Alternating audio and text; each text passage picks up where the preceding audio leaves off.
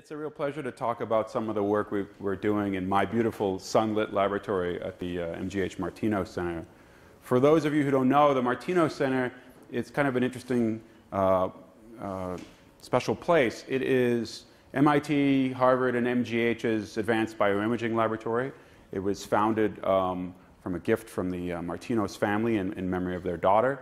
And we mostly focus on MRI imaging tools, but we also have very strong nuclear medicine and optical imaging programs. Um, and so, uh, and the, the uh, we are in Charlestown, Massachusetts, which is part of Boston. Uh, my lab used to be part of the timber shed. So the, the Martinos Center is part of the, the Navy Yard in, in Charlestown, which is where shipbuilding activities centered in the, in the country for about 200 years. Uh, and uh, in fact, Old Ironsides, the USS uh, Constitution, is, is right down the road from my lab. these are my disclosures. I'm a founder and scientific advisory board member of these two companies, and we do receive some sponsored research from GE. So I run a, an MRI physics lab, um, and we're kind of unusual even in the soft money environment of the Martinos Center, where, where as long as it's, it's funded, you can work on it. Um, and one way to see that is from the sort of range of, of things that we're funded by. Typically, the NIH is, sponsors most of my colleagues' work, and, and, as well as ours. But we also get money from the Army, ARPA, DARPA, NSF. And, and this is kind of a list of things that we work on. Uh, how many minutes do I have? No, I'm not going to go through all of these.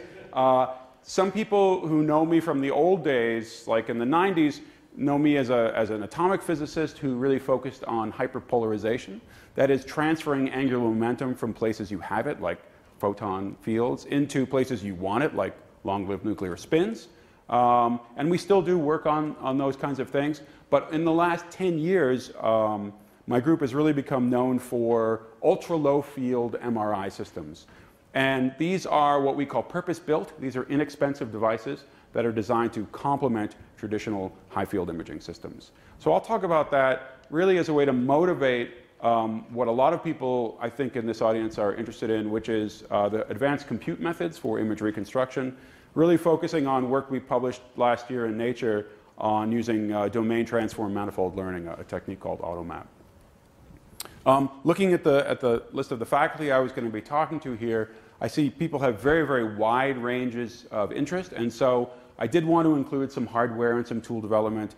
This is really kind of a quick overview on, like I said, sort of three things we do in my lab, and I'm happy to talk in more detail uh, later or, or just interrupt me. So ultra low field MRI is kind of a strange thing. It, it's like, why would anybody do ultra low field MRI? Because we know that MRI, of course, is the undisputed uh, standard of care for uh, non-invasive diagnostic imaging, particularly in the neuro system.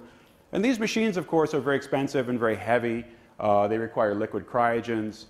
And, and maybe most interestingly is that they also require dedicated rooms, right? They require dedicated rooms in their hospital radiology suite because, well, they operate at high magnetic fields.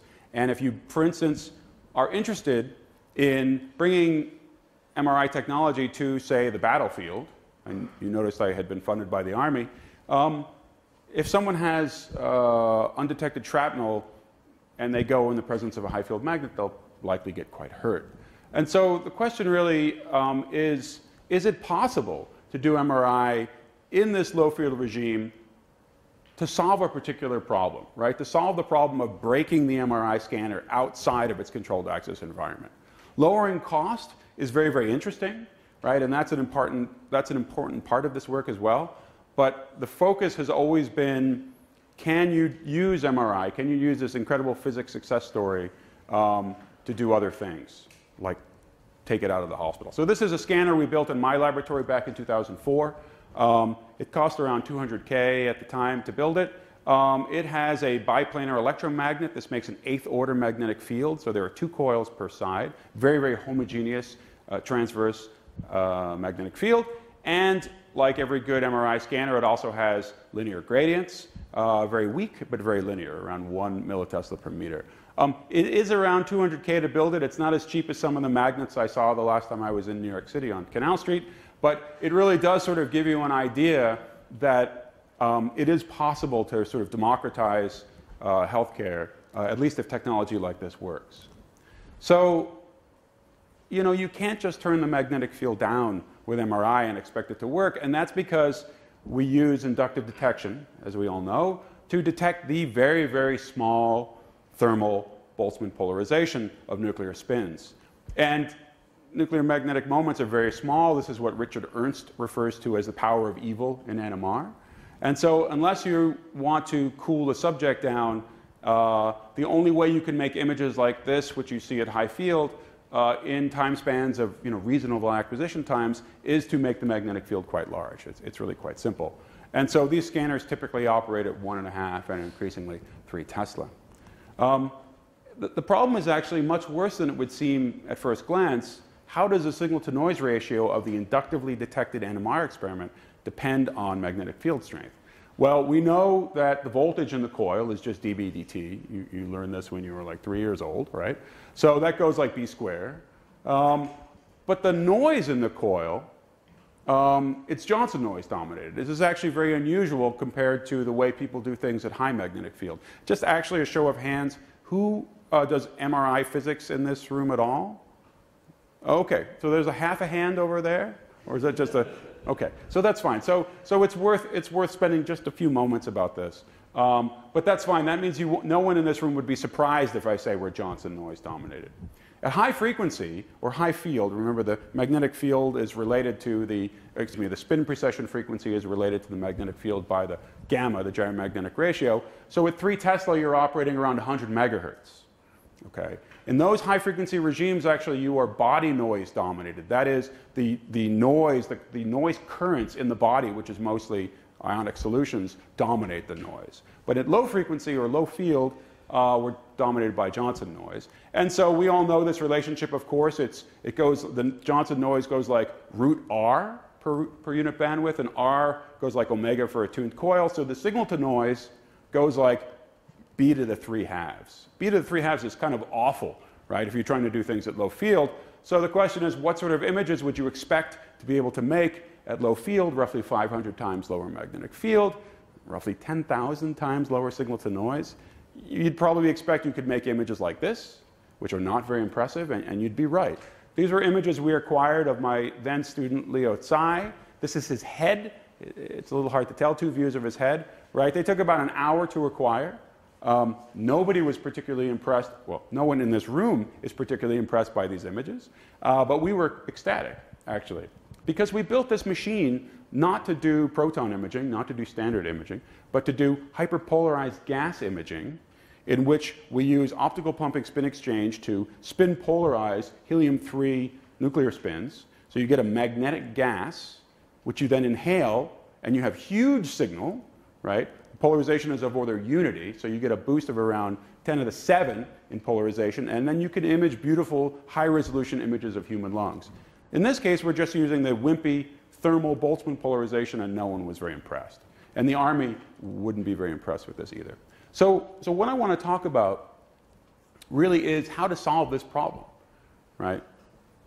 It's critical if someone is interested in doing MRI and leveraging all the interesting soft tissue contrasts and things that come from the kind of images you can make with NMR-based detection, um, it's critical that you be able to find solutions to operate at low magnetic field if you want to take this out of the controlled access environment.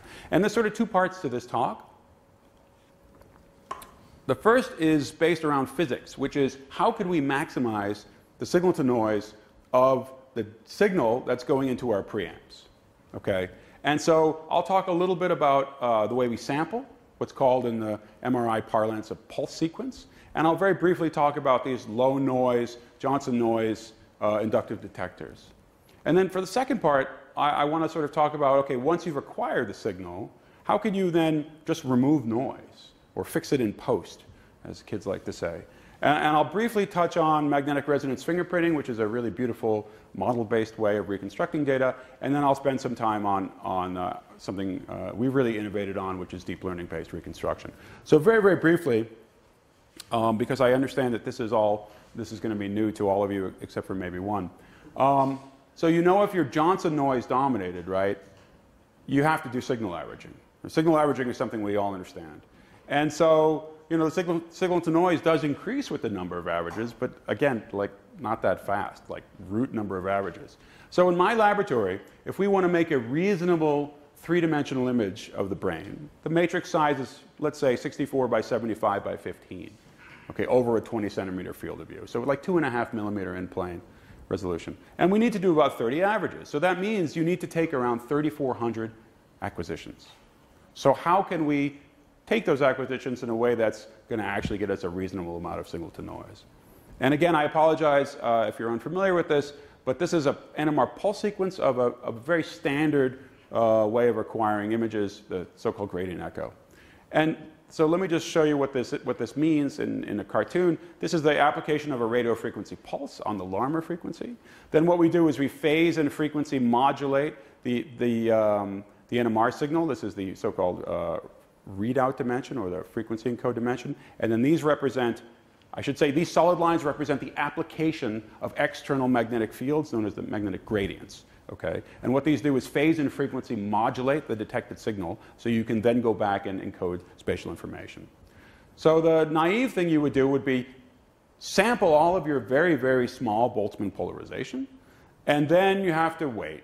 You have to wait for thermal recovery. We all know that spins have a recovery time, a so-called T1 time, and then you repeat that experiment. Now, the good news is that at low field, this recovery time is actually shorter than at high field. It's around 150 milliseconds. So you have to wait something like 5 times T1. It's almost a second. And so to take this many averages takes about 40 minutes to do a, an image. Again, the motivation for this work is triage in uncontrolled environments, right?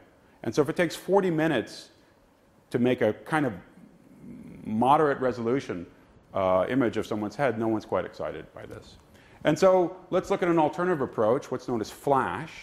Again, this is very MR physics heavy, I apologize. In this case, what you do is you use a very, very small tip angle, so you don't basically perturb the longitudinal polarization. And then at the end of it, uh, your shot, you spoil any transverse magnetization that remains. And so rather than having to wait for thermal recovery, you can actually go as fast as your system will let you go. In this case, it's around 25 milliseconds from shot to shot that gives you a 30 fold higher data rate. That sounds like we're going in the right direction. But you'll remember, of course, that the NMR signal, it's the sine of the tip angle, right? You're just measuring transverse magnetization. In this case, the sine of, a, of alpha is quite small, so you need even more averages to, to make back the signal you didn't get. And in this case, the total acquisition time is about the same. So there's no solution really to low SNR. So that's, we finished early, actually. Um, so, so actually what we've what we've realized is actually there are very efficient ways if you operate in a steady state where you can sample magnetization that solve this problem. And this is based around something known as balanced steady state free precession. And, and the idea is that the first half of the sequence looks like every single thing I showed you. Um, but you'll notice here there is no net gradient moment over each shot. So whatever dephasing we, we uh, invoke to do phase encoding, we then rewind it at the end. And then we drive the magnetization coherently back and forth. So rather than, rather than a pump probe experiment, to use language that, that many of you are comfortable with, we just, just drive this thing as fast as we want. Um, and then you get to a steady state value over multiple pulses of the transverse magnetization. The easiest way to see this is that's your thermal polarization. You drive it uh, with a single RF shot, and then you go back and forth, plus minus alpha, back and forth, and you get to some steady state value and that steady state value builds up over multiple pulses. This strategy, and I'll, I'll show you uh, what it does for our imaging performance in a moment, but, but this strategy, if any of you want to leave this uh, little seminar and start doing low field MRI, this is all you need to know. These are the rules for low field MRI, and they're also good rules for life. Make the most of what you've got. So if you've got a very, very small thing that you're trying to measure, you should, you should sample all of it. Don't just sample a little bit of it. Don't waste anything. All right, we should all be. This is this is really good lessons. Um, which means that if you have some leftover transverse magnetization that you have to destroy in order to make your measurement happen, that's not great because it is kind of taking signal away that you could otherwise acquire. And don't delay. Don't wait for anything, right? Don't wait for thermal recovery if you can avoid it. Of course, Herman Carr knew this in 1958. There, there is nothing new under the sun. Um, of course, MRI imaging hadn't been invented yet, but he was trying to do nuclear magnetic resonance experiments with long T1 samples. He also had poor SNR, and so uh, he invented this approach. So we've just wrapped it in an imaging sequence. Okay, so when you run that sequence, Um, these are some images of a human head. Uh, this is my uh, then postdoc, Chris Lapierre. Um, and uh, the acquisition time for one of these uh, scans, which is 15 slices, took uh, six minutes. And, and I'll ask you to, to um, contrast that with this experiment. So, what's changed between these two experiments? And, and I'm going to wrap this in a way that, that makes sense for what I want to talk about. We changed the software, right? The hardware is exactly the same. All we did was think about the limitations of where our noise comes from and the, and the limiting time constants in the experiment and, and come up with a different way to sample the data.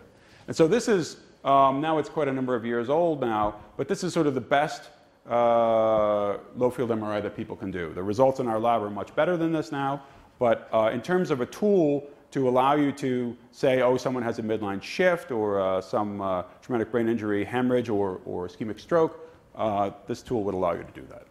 Um, extremely quickly, um, so the way we detect precessing spin magnetization at 300 kilohertz is, uh, is quite simple, actually, um, and also quite new. Our magnetic field goes from ear to ear, and the traditional MRI goes this way.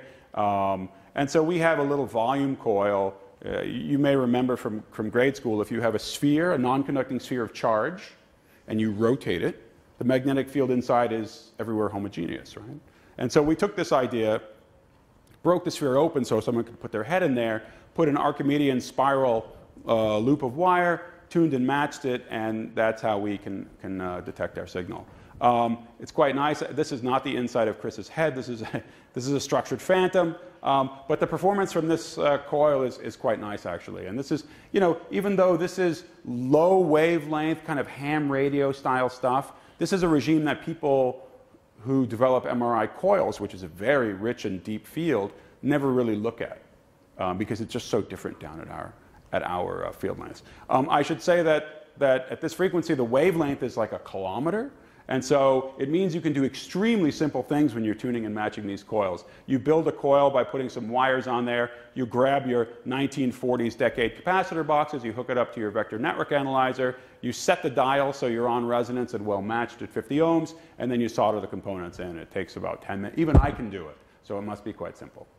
Um, so, so at this point, I just want to like point out an interesting thing um, about the results we've obtained so far even though I've shown you these, albeit somewhat impressive, two and a half millimeter resolution images, um, you know, who cares, right? They're still worse than what you can do at high field.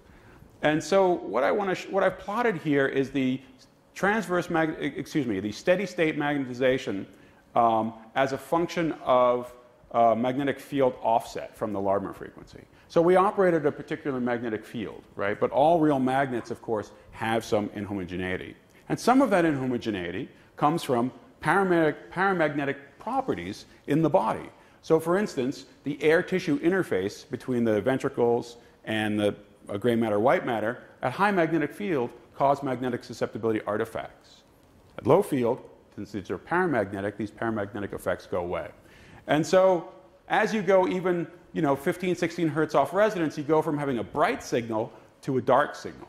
So let's look at the same subject acquired at 3 Tesla. So these are three views of the same subject. And you see these little artifacts, very sharp, curvy things. This is this so called banding artifact. Okay? And this is coming from the fact that the body of this subject in the high magnetic field are causing spatial variations of magnetic field, which causes steady state value of the signal to be zero or near zero in that case. For us, you can see that there's no such banding artifact in the same region.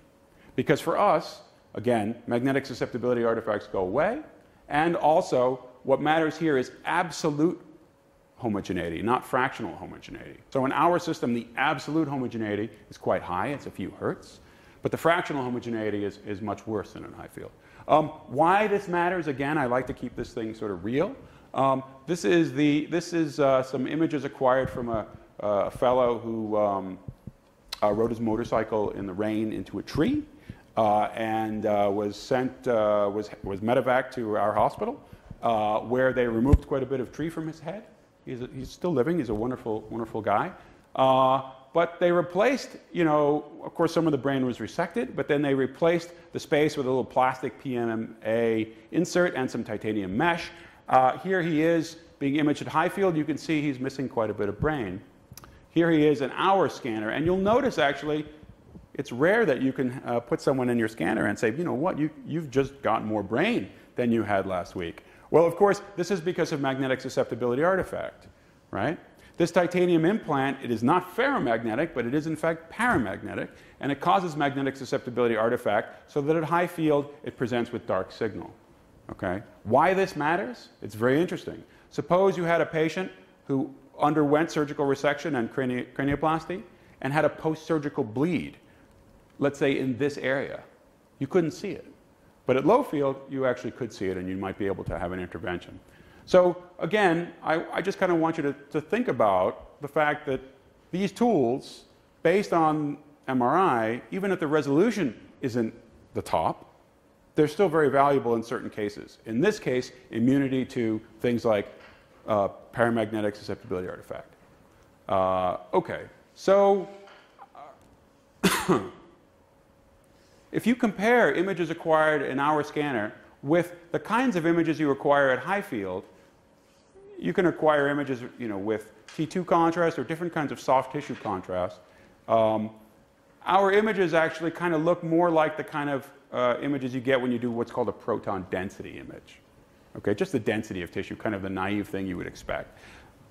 Clinically, these are not that useful. These other kinds of relaxation-based contrast, magnetic relaxation contrast, so-called T1 and T2, are much more useful. Um, however, our acquisition strategy gives us signal that looks like the ratio of T2 over T1, which is actually around unity for us. So this is really a problem, um, which is a darn shame because if you look at this uh, magnet, the longitudinal relaxation uh, parameter T1 as a function of field strength, you get much more T1 dispersion at lower magnetic field. And we have no way of probing, probing that. So here's where we're going to kind of transition into talking about how we can improve acquisitions with compute. What I've done as a way to solve poor SNR is the most naive thing we would have all done, which is come up with a high data rate sequence to enable fast averaging, and then add all those images up to make a picture, right? There are other ways you can take that same data and process it. And these are based broadly around what I would call pattern matching or curve fitting, but let's say let's call it pattern matching. Curve fitting is an example of that right? We're all familiar with this. So the circles here are some time-dependent data. In this case, it's CPMG T2 relaxation, where you have some theory of line shape, right? It's noisy data. You have some theory of line shape. You fit your model uh, of how that data depends on some parameter like time, and it gives you quantitative information from the fit. But actually, another way to think of this is that, oh, it's denoised the data right? That red line is the denoised version if you believe your model, and let's assume that we all believe our model. You've denoised the data. So the MRI equivalent of this, at least in one incarnation, uh, is really, was really pioneered by Mark Griswold, who, who gave a talk uh, here with me a couple months ago on magnetic resonance fingerprinting.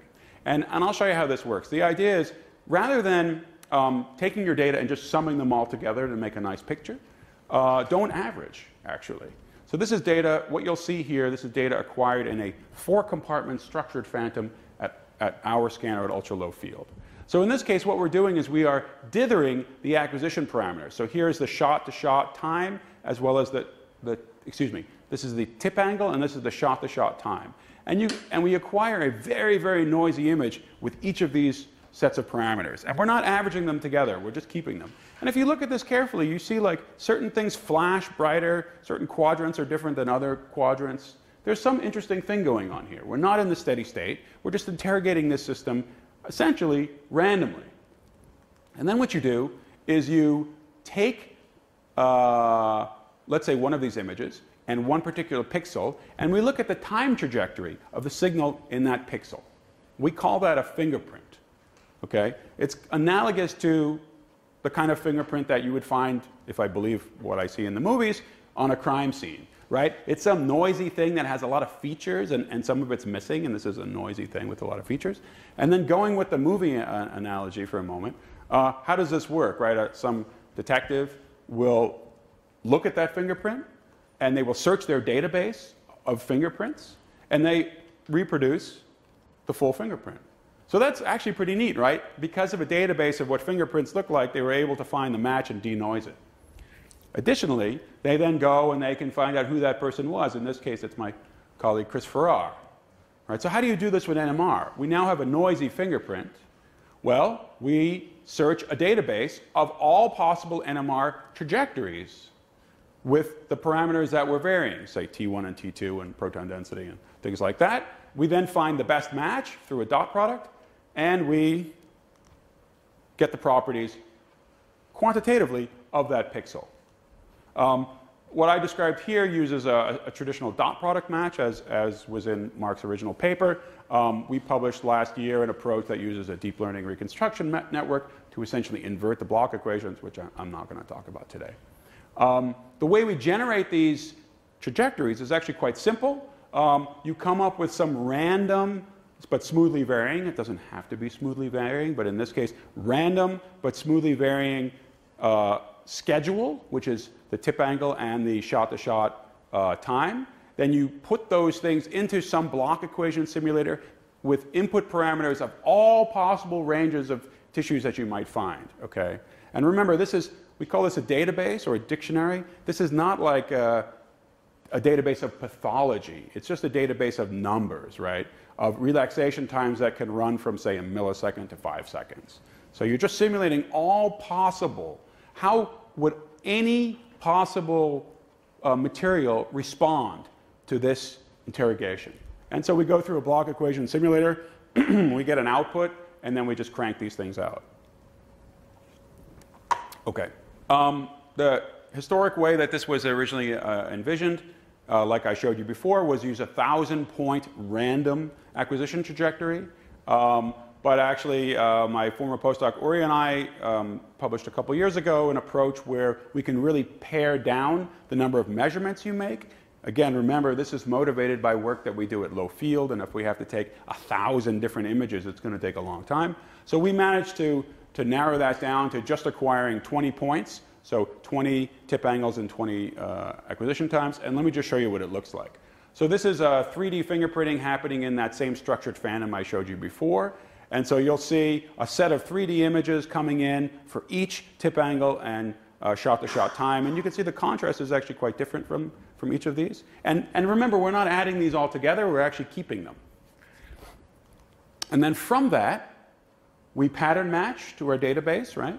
And then you can generate all these other synthetic contrast images. It's quite nice, actually. So we get T1 and T2 relaxation, quantitative relaxation uh, maps, as well as measurements of the magnetic field, uh, both the static magnetic field and the RF magnetic field. So this approach, and this took about 20 minutes, is really a quantitative image contrast approach that is highly error or fault tolerant. Right? So you can take noisy data, of which we have a lot of, and knowing how that data depends on your theory of line shape or whatever, however you want to think of it, um, you can recover more information. Uh, we've done this in the human head, of course, and it works quite nicely. And, and the, the, beautiful part of this is it allows us to maintain our fast data rate, but still generate images um, that are clinically useful and now tease out this interesting place, please. One quick question. The, the dictionary is pre-computed. The dictionary is pre-computed. Total number of permutations of your object space is just way too high to compute real time. So that's super interesting, actually. So, so you're, you, you are right, and the next thing you're going to say is something we've already done as well. So, so in this, the typical magnetic resonance fingerprinting experiment varies, allows for three parameters, the relaxation, T1 and T2s, and the magnetic field offset.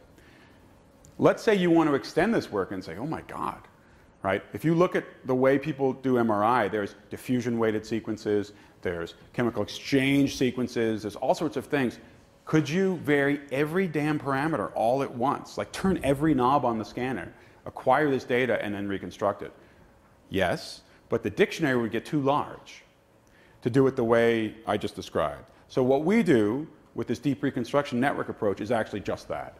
And so you actually only compute a very light dictionary and you use the fact that neural networks, fully connected layers and neural networks can solve regression problems very easily. And so you can do multi-parameter MRI this way. So we do, I think, eight or nine parameter MRI, chem chemical exchange saturation transfer MRI, the same way at high field. Yeah, so this is a, this is a, Uh, the dot product approach is, a, is not the right way to do it, um, but it works. Right. Please. Have you seen artifacts because of that? Like when you construct your deep network and you end up So- with some artifacts. Yeah, so you need to make sure, so you're talking about the deep, the deep network. So you have to make sure you don't uh, um, overfit. And so overfitting is always an issue when you're solving regression problems. And so, and some of that is kind of empirical, the way you kind of figure out it, you know. But it does mean when you're designing these things that you need to um, generate your, uh, your, your, your train and then test carefully outside of the training corpus, right? So there, so we, yes, if you do things wrong, it's a problem. But actually, the paper we published two years ago uh, on drone, I think two years ago, show that it's actually much more accurate than even a fine-grained dot product, um, because the parameter space is just so darn large. And and if you think about it, the dot product, hmm, how do I put this? The Bloch equations are smooth in parameter space, right? But it's a complicated parameter space. It could be an eight-dimensional parameter space. If you throw away a priori that it's smooth and you just treat everything as a discrete time point, then it's very easy for the dot product to say, oh, if I have parameter 1, 2, 3, 4, 5, 6, 7, 8 with these values, or I have eight different values, they're so very close. It could be the same thing, even though they're, they're very far apart in, in the smoothness, right? But by training a regression to do this correctly, you actually exploit the fact that these parameters have some smooth variance. You, you generate a continuous function for the inverse, right? As opposed to just looking at a, at a similarity me- metric. That's a long answer, I apologize. And I am cognizant of the time. Uh, wow. Can someone move the time back a couple minutes? Uh, but, but it works pretty well. We can talk about it more. Um, so, okay. So I've showed you that um, with the right pulse sequence, we can take good images, pretty good images. Um, we can get contrast. Um, we can make, we have good coils. What else is there to do? I mean, we sort of hit a wall in my lab. Uh, well, my postdoc Neha built a quadrature coil, um, which is just another way to get additional SNR. So now instead of looking at the one transverse component for precessing magnetization, she looks at both. So you get something like root 2 SNR gain on that. But that's it. We kind of run out of ideas for how to improve the SNR on the physics side. Um, and, and so it used to be kind of be a joke in my lab that like people would say, well, we can't improve the signal. Can we just like turn the noise down? Like, haha, right? That's just like a, a thing people say. And, and, then, so for the last part of this talk, I want to talk about um, an effort um, where my current postdoc, Bo Zhu, took this very seriously and, and wanted to see, can we actually do this? Can we just remove noise? So this is kind of a generalized thing. At least I want to try to talk in a general way so that it's more useful for you guys and, and your own research. But, so let's talk about imaging in general, just to get the language clear. So imaging, you have some object, right? And then you forward encode that into some sensor, right? Let's call it a sensor domain. And so there's a representation of that object in your sensor domain. And these are medical uh, things I'm showing, but but you can pick your favorite uh, modality if you want. And that sensor domain could be radon sinogram for PET and CT. It could be element time space for ultrasound, right? Or it could even be Fourier space for Cartesian MRI. And then to go into the image, what do you do? Well, we call that reconstruction, right? And you invert the forward encoding. It's very, very simple. To put this in a more concrete terms, let's go to MRI. So in MRI, what is the forward model? Well, it's very simple. It's the signal, right? And we can write that down. 50 years ago, we could write this down, right? We use NMR inductive detection, which we all know, which I've written down here, of an object which is basically some, some spin magnetization density, modulated by phase and frequency through applied gradient fields. So I've written that down. Okay, this is the forward model for 2D Cartesian MRI. And we immediately recognize that this is actually the Fourier transform. So that's cool, right? And so then, of course, to invert it, it means we just do the inverse Fourier transform. And this is the way people have been doing MRI forever. This is the first way people did MRI. It gets more complicated if you want to do other kinds of sampling patterns, right? Like non Cartesian sampling, such as spiral. This is a thing people do. And then to that's the forward model. Again, very easy to write down the forward model. You just say the signal at this particular combination of parameters is equal to the source magnetization times whatever your encoding function is. But to invert it, it's a little harder, right? Some of these things require regridding, non-uniform Fourier transforms, etc. Then contemporary MRI uses multi-channel MRI, and so then you need to do all sorts of often nonlinear optimization and often uh, iterative reconstruction approaches with some regularizers to actually be able to solve the inverse problem. And in fact, as you do more and more things like add undersampling, you're really doing conjugate gradient optimizations and other kind of transforms where you don't really know the inverse, but you have, an, you have a way to minimize something in the, in, in the regularization process. So what you have here, if we color code each of these steps as different colors, is a kind of a bit of a mess, right? Where you have whatever your choice of sensor is, and you'll notice I put in like radio astronomy and whatever kind of domains you're interested in, and you have this, this ad hoc thing where each of these modules is someone's career, right? And you take your data, you regrid it, you do the, oh, okay, I, have come up with a new regularizer, hooray for me, I published that in some IEEE journal, right? All of these things, it's complicated and it's all ad hoc. This reminds me, maybe it reminds you, of the way speech recognition was a few years ago, right? Where people would do what was called expert feature extraction.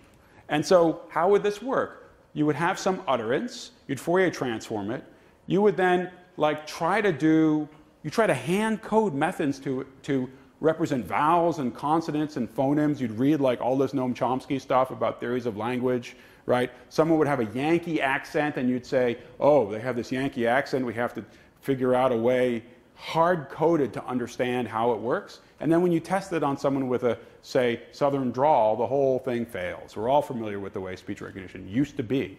How do we solve this problem now? We use, of course, supervised learning, right? Incredibly simple. So you get four people saying four different things, as an example, different people right? You put it into this big piece of linear algebra with all of these degrees of freedom, and then you look at the output.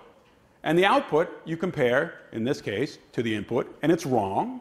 So you use what? Backpropagation, stochastic gradient descent, to update all of these millions of network weights. And you do this if you define your training corpus right and you don't overfit, and you inject noise in the right way to try to promote manifold learning, you get something that works quite well. In this case, remember, we haven't put in any external theory of language. All we needed was the ground truth. So we have the data in two domains, and we let the network define its own, we let the data, and I apologize for this sort of anthropomorphism, but the data defines its own internal representation. The network, through training, develops a sparse way to represent this highly dimensional, high dimensional data and give you what you want. And this is how Siri and all these things works, right? So broadly speaking, automated feature extraction has now solved lots of interesting problems. All of these you, have probably seen before. And it's really because of three things, right? It's certainly true that all the work that was done in the 70s and 80s around deep and convolutional neural networks is now coming, you know, ripe. Um, big data, uh, the fact that you can get labeled data, okay, because I, I, showed in that case of supervised, supervised data where you need the ground truth in, in two domains. So what we call big data, and also the fact that so many people play video games, you could do matrix multiplication thanks to NVIDIA on all of these things. Okay, that's supervised learning, which is a form of machine learning. I want to talk about a different kind of learning, which is based in biology, and it's what we call perceptual learning. And this is how biological systems, including humans, learn to see. Okay, so we're born blind. And what happens over the early, year, the early days, hours, days, weeks, years of development is that the representation in our visual cortex changes um, based on exposure and training to stimuli. Our eyes are not really pixel sensors. Well, they are, but that's not the way it gets represented here. Your brain learns these sparse convolutional features of the data that you're looking at and determines, again through experience, what is important. So for instance, out here in the side of my peripheral vision, I don't see pixel, pixel, pixel, pixel, pixel, but my brain says there's an edge, there's a pattern, and there's a texture, right? And you're familiar with this even if you don't realize it, because this so-called perceptual learning is critical to robust performance in low SNR settings. And you might say, like, what? This is crap, right? Like, we can't see in the dark very well. I don't know what you're talking about. But, but actually, it's true. If you took your cell phone camera, right, turn the lights down a little bit, and we took an image in this room, and then looked at it, you would have what? You'd have a grainy image. But even me, with my terrible eyes, I don't see you guys as grainy. So it's kind of interesting. There's sort of some fundamental denoising that's happening from the brain, from the, what we call the mind's eye, or through this perceptual learning process. And, and, you know, just before someone raises their hand and says, well, the retina is way more efficient than CMOS sensors, that's totally not true, right? Even the cheapest CMOS sensor is like five times higher quantum efficiency. And so another example of the fact that the, that the fact that your brain identifies features from noisy inputs and hallucinates the final image in your mind. Um, here's an example of that. So, what animal is this? Quick, right? It's a dog, right? So that's interesting because you all knew that, and I violated Nyquist theorem by showing you like less than half the data. And you knew this because you've seen many examples of dogs in your life, maybe not that dog in particular. And now to sort of switch and connect this uh, neuroscience to signal processing, you took an undersampled or low SNR uh, image and you reconstructed it or hallucinated it to a fully sampled image. Now, what if you try doing the same thing with MRI, right? So this is the signal chain in MRI, very, very simple, right? If we then want to go faster and take less data and then reconstruct it, you get some like C minus grade image. It looks terrible. Why is this so much worse? Why can't our digital reconstruction approaches hallucinate and do a good job with undersampled data? And so that's really the question. And this is really the approach for, for work we've done uh, with perceptual learning for MRI and, and for solving inverse problems in general. So we've basically paralleled this formalism where you have your, your noisy visual inputs through some neuronal spiking, which then you reconstruct through this lifelong data-driven training process known as perceptual learning. Uh, analogously to noisy data coming in, your preamp from, let's say, Fourier k-space acquisitions, and reconstructed using this approach. And we call this AutoMap. Uh, this is a work, again, really um, uh, led by my postdoc, Bo Zhu. Um, automated transform by manifold approximation. And the idea is that we remove all of these people's jobs, sorry, all of these colored boxes with, with one formalism that can actually learn the correct way to reconstruct domain transform uh, as a supervised learning task. And, and it actually uses two forms of learning, as I talked about. One is this data driven training, supervised learning, to remove these handcrafted pipelines just to make people's lives easier, right? If your student comes to you and says, I have a new way to acquire data or sample data, then you can say, Great, have you come up with the inverse can you solve the inverse problem? And they go away for like three years and maybe they never come back, right? So a tool like this would actually allow you to be more creative about the way you sample things. And we are uh, cognizant of the perceptual learning archetype um, to improve the SNR of noisy data. Topologically, you can sort of think of this as the training process um, conditions uh, a joint manifold. One domain which consists of, let's say, images, and one domain which is in the sensor domain. And training, and I'll, I'll go into this in more detail, training conditions both of these manifolds to be maximally sparse in their appropriate domain, and then it also learns the relationship between them by example. Okay. And, and, actually, you'll notice there's pictures of cats and dogs here.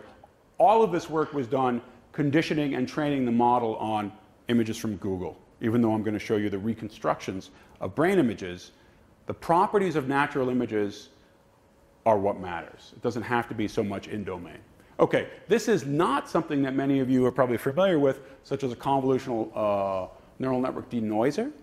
Uh, this is work from Jaakko Lehtinen, a, a, paper that's called Noise to Noise. In this case, you, you train your network on pairs of examples where you have some noisy image and you give it the clean image. Now, this noisy image might be uh, Poisson noise corrupted, it might be, it might be Johnson noise corrupted, whatever it is, uh, Ricean noise corrupted, and you learn a mapping to denoise. That's not what this is. What we do is we train on clean pairs of data that are generated from the forward encoding model. So remember what I talked about the way we do imaging? You have your object, and then you forward encode it into the sensor domain. And then the hard part is the inverting, right? So the way we train this is we, we take lots of images, natural images, we will forward encode them into the sensor domain, and then we will use that for the training process, which I'll show you shortly. The training process, again, to reiterate this, because it's sort of new, identifies sparsity in both of these domains, and then learns to invert the encoding. And the noise immunity that I will show you develops naturally because it operates between sparse manifolds, just like uh, perceptual learning. Okay, I said sparsity about 30 times in the last 15 seconds. So I want to just uh, emphasize what I mean by sparsity. There are many definitions of sparsity. I like to think of it sort of as um, higher dimensional data or high dimensional data can be re represented with less coefficients in a sparse domain, right? So here's a toy problem. Here's a picture of some circles. And so let's look at that blue circle in particular. In pixel space, right, you write down the pixel value of every uh, blue uh, shaded area. In circle space, to make up a toy model, you can specify this with a triplet of numbers. So we could say that circle space is a sparse domain for circles, right? That's what I mean by sparsity. Okay, noise, on the other hand, can be anything, right, except sparse. The number of possible images in this 128 by 128 image is a number with like 5,000 digits, right, 2 to the 128 squared, okay? And if you look at this long enough, like, I guess you'll see a picture of a dog, it's possible, but it's going to take a long time. And so, what we're trying to understand is a fundamental difference between noise and things that are image like, have image like properties. So, since noise can be anything, it's very unlikely to be able to identify any domain in which it can be represented with less coefficients because anything is possible, right? So here's image domain. Here's a Fourier transform of noise. It, it's still, you know, not sparse. And even a, a, domain that people are very familiar with from, say, JPEG compression, the wavelet domain, it's also not sparse, right? So that's, that's no surprise. But images are different, right? Natural images are special. And I'll show you. Well, here's a natural image. It's not sparse in pixel domain, right? Except for the fact that the field of view is slightly too large you still need to go to every single point and write down the pixel intensity. So, so natural images aren't sparse in, in that domain. How about in the Fourier domain? That's got to be it. Uh, well, no.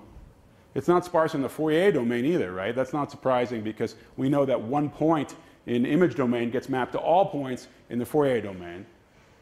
That's, that's unfortunate. So what about this whole story I told you? I, I showed some references. I said, like, the brain identifies sparse convolutional features in the visual cortex. And what, what, what, are you talking about? Well, there are domains in which images are sparse. The wavelet domain is one example, right? So we're all familiar with this, where most of these coefficients are zero. That's how image compression works. So images do have this property that there is a domain, or multiple domains, in which you can represent it sparsely. The connection between all this stuff that I said before and neural networks, synthetic neural networks, is the following. Neural network training encourages, if you do it right, again, this is to your point, an efficient internal representation of the mapping between domains. And an, an efficient internal representation is the same thing as having less coefficients. And so neural network training, if you do it right, can identify sparsity. Okay, since I'm pressed for time, I'm going to push through this. So finally, here's the network that we use for AutoMap. For those of you who work in this field, this is incredibly simple. This is like baby food stuff, right? We have a fully connected uh, layer here, and we have two convolutional autoencoders on the output, and it works just fine. It works fine because what we learn is the mathematical transform and conditioned on the fact that we're going to take advantage of sparse properties of natural images. So you put in your sensor, once trained, you put in your sensor domain signal here, you get your output image here. And it's a fully feed-forward network. So let's show how we train it. This is actually quite interesting. Um, I'll try to cover it very quickly. As a physicist, I like math problems. I don't like linear algebra systems that have a bazillion degrees of freedom, right? And so when we put this together, um, we built the architecture of the network, even though, of course, the weights are still trained using uh, gradient descent. Um, we still wanted to make sure that the formalism was there so that we could, we could use the fact that we understand mathematics a little bit. Um, and if you read our paper in the supplement, actually, uh, my student Jeremiah Liu worked out, he's a mathematician, and he worked out in great detail how actually what we're doing, this manifold mapping, uh, can be explicitly proven. So it's, it's worth looking at. But the short of it is that the fully connected network uh, input layer takes advantage of, of a well-known theorem called the universal function approximator, which says that any function can be, this can represent any function using a finite number of nodes on a compact set. And then the output layers are just very, very simple. Everyone is, is familiar with those. These are just a convolutional uh, autoencoder. And we actually, in the training, force the uh, reconstruction to have sparse convolutional features on the output feature map. Actually, just as an aside, once this network is trained, if you interrogate the sparse convolutional features, they look like this. I don't know if these uh, mean anything to you guys. These look like kind of edge detectors, you know, no surprise. They're also identical, or basically identical, to the visual, the receptive fields of our visual cortex, the so-called Gabor filters. No surprise, because we're, we're uh, imposing an L1 norm penalty. But it's interesting to see these things evolve organically. Uh, okay, so the way we train this is on the forward model. So we went to ImageNet. We got all these images of cats and dogs. We forward encode it into the sensor domain representation that we want to uh, reconstruct. We um, corrupt this data through a process known as dropout or multiplicative noise multiplication to promote manifold learning, and then we input that into AutoMap, like this. And then the network comes out with some output, and we compare that output to the known input through a loss function, which is basically the root mean square error, and also this L1 norm penalty on the output layer. And we do this in mini batches of like 30 or so. And we let this thing train up. Okay, so here's how we learn the inverse Fourier transform. Um, the training corpus in this case are uh, cats and dogs and birds and tigers. Uh, that's one of the images from the, from the uh, training corpus, forward encoded. And once trained, we now are going to give this network something it hasn't seen before this k-space. What is this k-space? Well, the inverse Fourier transform is just this flower. And so, lo and behold, AutoMap could reconstruct it. Who cares? Again, who cares? Um, well, it's quite interesting, actually, right? This network learned to do a double integral, well, in this case, a double discrete sum, um, by example, right? It was trained only on the forward model. It was trained on this data, exactly this pairs of data. That's the USS Constitution, by the way. Um, and so that's kind of remarkable, actually, that it somehow learned to invert by example. Why this is interesting, actually, well, you can give it a brain. It's never seen a brain before. It also will reconstruct a brain. Why this is interesting is because it, as I said earlier, it opens the space for learning arbitrary encoding schemes. Looking at the time, it's clear I'm going to go over. I don't know what everyone else has planned for their day. I'll keep talking until someone tells me to shut up. How long do you have? I, I, would say I would say we could probably get through it in 10 minutes. Is there, is there a class coming in after this? Uh, yeah, but uh, okay, let's cut it to. fine? I'll do my best. Yeah, sorry, I, I, that 10 minutes at the beginning kind of kind of fooled me. Um, so. Uh, so I showed you this slide early on, and so what I'm going to just quickly talk about for the rest of this talk is this part of the reconstruction process. Um, but actually, there's all sorts of interesting stuff. I was talking with Matt earlier on about this, which is that you can actually start interrogating are there better ways to do the acquisition? And we've actually done this work in my laboratory with a reinforcement learning approach where you have an AI agent that plays a, a, a synthetic scanner and comes up with interesting uh, acquisition strategies, or using a computational graph formalism. And I won't be able to talk about any of that stuff right now, uh, which is too bad.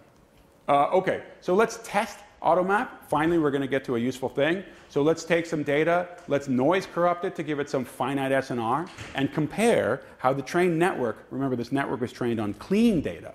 Now we're going to give it data that actually has finite SNR. Let's see how it compares to the ground truth. And so we'll just pick a particular example from the world of MRI. It's kind of a tricky one, spiral MR. And we're going to compare it to, uh, uh, we add 25 dB Gaussian noise and we compare it to a reconstruction with a non-uniform Fourier transform, iterative reconstruction, and you get a thing like this. So noiseless reference, 25 dB SNR reconstructed using typical ground truth, excuse me, typical uh, workflow uh, approaches. You get a root mean square error compared to the ground truth of about 5, signal to noise of around 14. If we put this in AutoMap, what do we see? We see an improvement in SNR by about a factor of 3 and a similar reduction in error. We could spend a lot of time on this slide, but I'd rather show you this.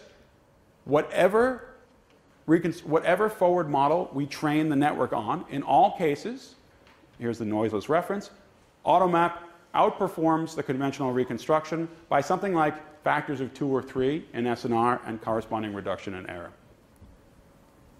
This is actually uh, gets even better as the data gets noisier. So here's some really noisy data. Again, ground truth and then noise added to make the reconstruction uh, have a SNR of around five. Uh, AutoMap again outperforms in two, again, these are two different uh, forward encoding models. And I will point out that you know, the way typically people reconstruct radon data is iterative. And so these are feed forward approaches, outperforming iterative reconstruction, regularized, highly handcrafted. This is an MBIR, right? Highly handcrafted iterative reconstruction that people have spent their careers working on. so we started talking about low field MRI. We're back to low field MRI. Um, this is a that phantom you were familiar with before. My postdoc Neha did a whole bunch of signal averaging to get really high SNR. AutoMap versus the conventional reconstruction, they look about the same. But as we take less and less data moving to the left, you can see that this image with only 40 averages is significantly worse than the AutoMap reconstruction of the same data set. This is a plot of the ratio of SNR. Uh, and so as you get to noisier and noisier data, you get a boost from AutoMap because remember, the transform was conditioned on the fact that we're trying to reconstruct natural images which have natural sparse properties. Uh, this is also true for uh, brain data. Um, very interestingly, uh, this is a funny project that I'm involved with through the Department of Energy and some collaborators at Texas A&M, where we are actually in the field, literally in the field at College Station, uh, and we put an MRI scanner um, down in the ground to look at plant roots as they grow. And you can also reconstruct that data as well, and you see similar boosts. Um, what I want to, and I think I just have enough time to do it, what I want to um, impart on you is why we get this SNR boost. And it's tricky. As I said, you know, there's all these degrees of freedom, and, and there are not that many tools for sort of understanding exactly what's going on in this approach, but there are some. So let's look at the activation of this first hidden layer. In this case, I've trained the network on ImageNet, cats and dogs and birds and flowers. And I've given it the k-space of a brain, okay, which was outside of its training corpus. And we're going to look at the activation of this layer. Okay, it looks like this. Keep that in your mind. It doesn't mean anything on its own. And when we reconstruct that brain, we get an SNR of around 27.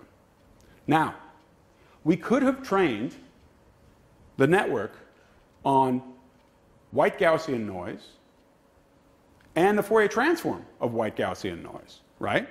Those are related. I claim that this network is learning to do a transform conditioned on the forward model.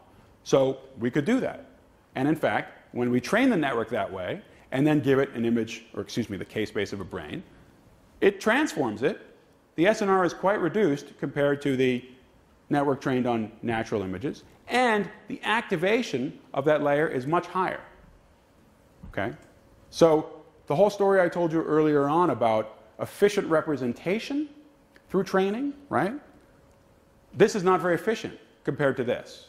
This is efficient because the network is conditioned on the fact that natural images have certain sparse features. And then, of course, if you decide to train the network on brains, and their forward encoding, which is more domain specific, right? Then you get even more sparse activation in the reconstruction and a slightly higher performance.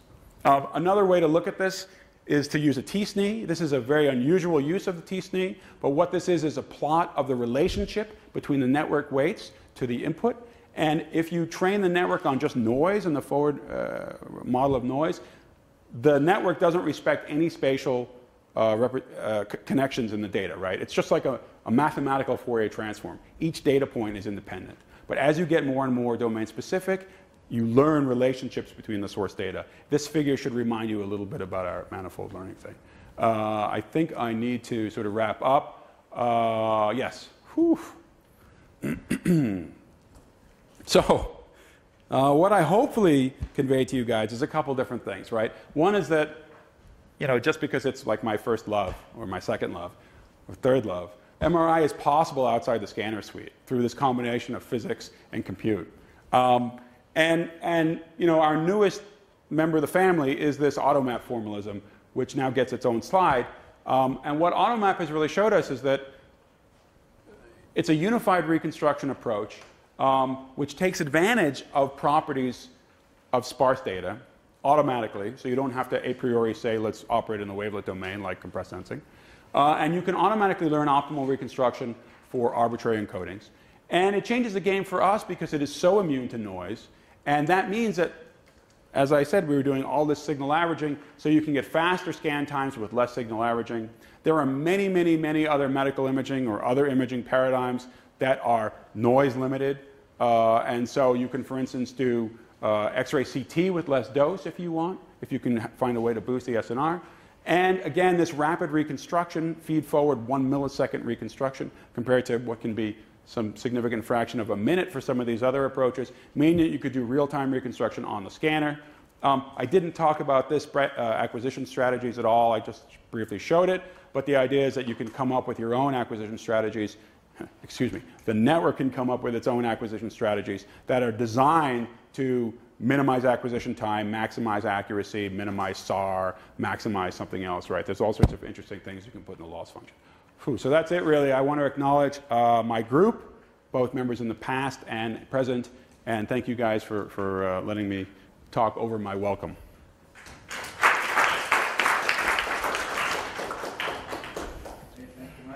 question. So uh, I wanted to congratulate you on this, this great work and thank you for coming back. Uh, you gave a, a great talk. I guess May 31st was the last time. What a memory you have, yeah. we went to dinner the night exactly. Before. Um, I, I, have sort of a, a forward-looking question because um, you know, a lot of the problems that we work on are in 3D or sometimes even in 4D. And yeah. in your AutoMap formulation, you have this first fully connected layer, and I can't even imagine uh, having a fully connected layer. Yeah, so, so to, do, to do 128 by 128 complex data, okay, like we do, that's basically 16 gig of GPU RAM. Hmm. Yes, it's pretty sad. And, and so, yes. Oh, yes. You're absolutely right. So that's an issue. And, and there are two approaches. So this paper has been cited, I think, as of this morning, like 240 times in the last 18 months. And the first sentence always says, AutoMap, wow, awesome. And the second sentence says, this thing's terrible for the reason you described, right? And so we are working on, well, there's two approaches. One is we're that are based around the same thing. So network pruning is kind of an interesting idea but you need to get the network in memory before you start pruning it. So what we're doing is we're currently running it on a, on a 512 gig power, IBM Power 9 uh, machine to try to see if we can learn something about pruning these networks that we can then extrapolate to um, larger networks that we, don't, that we can grow. So we're trying to sort of develop network growing algorithms. It's one approach. Um, you could also sparsify the, the um, the fully connected layer if you want to put some more prior information in there. And so there's several people who have published approaches. I think one is called de-automap, like deconstructed automap, um, where they say, oh, we know the data is X, Y, and Z, uh, and so we could build a, the network that way. Honestly, this was built this way because our original idea was, can we build something that can work for everything? Um, and it was kind of more of a, sort of intellectual exercise. Um, but I would say there are, there are, I mean, to your point, if you have very high dimensional data, and we're trying to actually do some of this work with like X-ray CT, where the dimensionality is huge, um, you can still take things that you've learned. You don't, you don't necessarily need to do the domain transform to, to, to um, exploit sparsity. All of these convolutional denoisers that everybody uses, that exploits sparsity, but just in the image domain, right? Um, and you can fit anything in those. You can do super high res stuff. But for us, we always felt, uh, and we're trying to learn the limits of this, that, that it's a darn shame to, to throw away all of the raw data, you know, like just to fit it into some memory thing. So it's not really an answer, except I'm well aware of the problem. we are working on it. Uh, it was the subject of uh, my postdoc Bo's K award that he submitted recently, and so we're working on it. All right, there's another quick question. Well, quick question. So, so uh, how is the sparsity related to entropy? Is it possible to to Yeah, right. the, the frameworks in terms of entropy? So that, that's, that's a really interesting question. Um, I feel like there are people in this room who may know, know, know that a little more. Um, so like the t-SNE metric, right, which is a dimensional, dimensional reduction approach, has a connection to entropy. Um, I don't know that personally, but I think everything you're saying is correct. Um, now, whether or not we could somehow use that correct statement to advise uh, us doing something differently, I'm not sure. Um, I will say that the, the slide I showed extremely briefly um, about coming up with discovering essentially pulse sequences and ways to interrogate systems through what we call proximal optimal control um, does actually operate uh, explicitly in the Fisher infor- by minimizing Fisher information.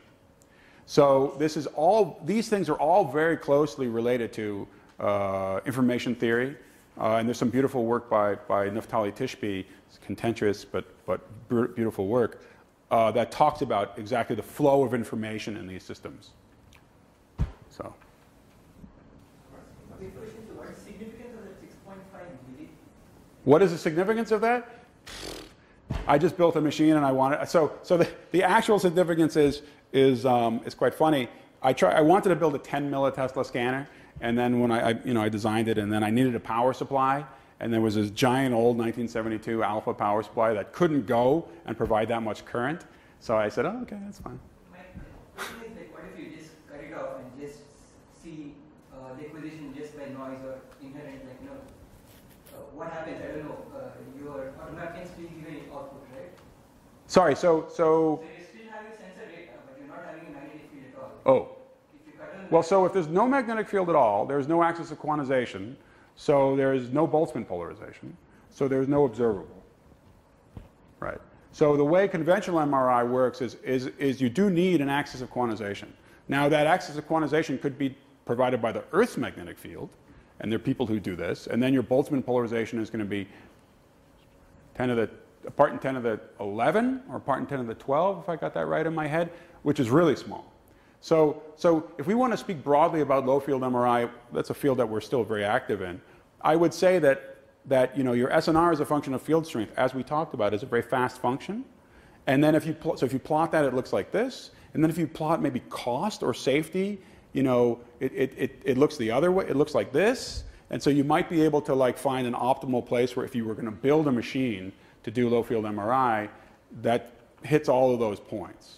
Um, but you still need a magnetic field, at least in the approach that I described here. Um, yeah, uh, there, there are some interesting things we could talk about about prepolarized MRI that people have tried doing, where you, you produce a Boltzmann polarization quite large, and then you turn off the magnetic field. Use the Earth's magnetic field very uniform to do your spin precession, but then you and then use something like a SQUID uh, or, or optical magnetometer, typically rubidium optical magnetometer, to do, to do the detection. There are reasons uh, why those things are relatively inefficient in terms of the data rate, but I'm very active in some of that work, so we can talk about that. All right, let's thank our speaker again.